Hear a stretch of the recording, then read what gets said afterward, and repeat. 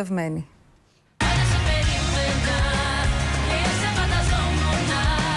42 ετών, ψηλός, γοητευτικός, απόφυτος του Κολεγίου Αθηνών με σπουδές στη Ζηρίχη. Αυτός είναι ο πολιτικός μηχανικός που έκλεψε την καρδιά της Έλληνας Παπαρίζου. Ο Ανδρέας Καψάλης, μετά από 6 μήνες σχέσης, έκανε πρόταση γάμου στην τραγουδίστρια.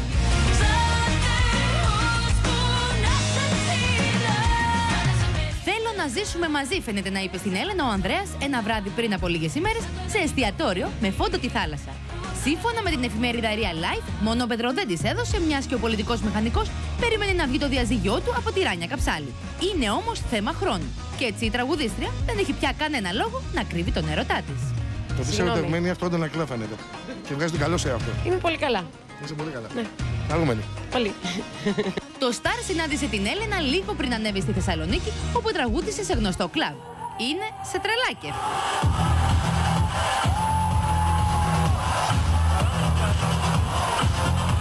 Το καυτό μίνι φόρεμα άφηνε ακάλυπτα τα καλλίγραμμα πόδια της. Αδυνατισμένη, ανανεωμένη και φουλερωτευμένη.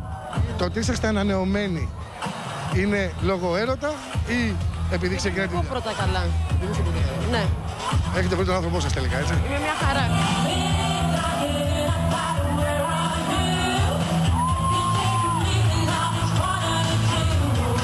Η πρόταση γάμου ξαφνιάσε ευχάριστα την Έλενα Παπαρίζου.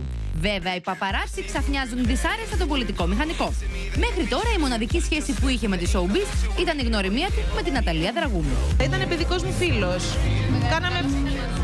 Όχι, δεν ε, μεγαλώσαμε μαζί. Απλώς μια. Σε κάποιο... Επειδή εγώ τα καλοκαίρια πήγαινα στην Έγινα, πήγαινε και εκείνος. Πάω ακόμα στην Έγινα. Απλώς έχω καιρό να τον δω. Λογικό. Αυτό το καλοκαίρι το πέρασε αγκαλιά με την Έλενα Παπαρίζου. Όπου και να είχε συναυλία η τραγουδίστρια, ο Ανδρέας έφτιαχνε βαλίτσα και την ακολουθούσε. Υπήρχε μια φάση που κάναμε πολύ παρέα. Καλό παιδί. Πολύ καλό παιδί. Όμορφος, καλός, ε, ευχάριστος. Σε όλα αυτά συμφωνεί και η μαμά της Έλενας. Η κυρία Φρόσο γνώρισε τον γαμπρό και τον εγκρίνει. Έχει και έναν αδερφό που τον οποίο έχω δει.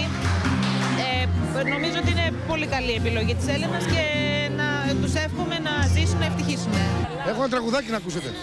Ποιο; Λάθος αγάπες. Πολλές. Πολλές. Τι αφήνουμε πίσω όμως, ε.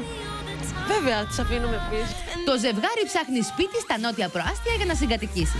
Η βίλα της Γλυφάδας δεν είναι άδεια, μένει ο Τόνι Μαυρίτης με τη σύντροφό του.